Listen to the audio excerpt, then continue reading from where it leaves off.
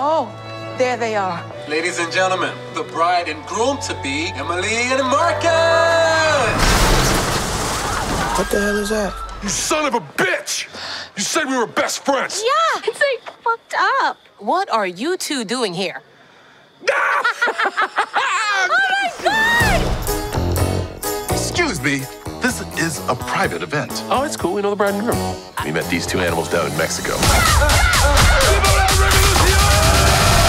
Why does the salt not taste salty? Oh, because it's cocaine. What? We actually brought it from home. Very, very easy if you ever want to try it. It's just a Ziploc and a full shampoo bottle. And it's so much more comfortable than when I had it in my ass. Mm. Okay, look, we just got a container.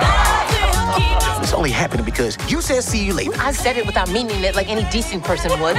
and somehow he's charming my dad. Hope you're comfortable letting him force him. As long as there's at least one girl involved. Everywhere they go, Fuck you, you baby face little bitch! chaos happens. This weekend is all about you. Well, I like the sound of that. We do too. Jesus. Good evening, everyone. What is he doing up there? Marcus and I crossed paths in Mexico. Get to know each other intimately. Babe, he's not serious. We've been drinking. Count it! You hit the bottle this time. What the fuck?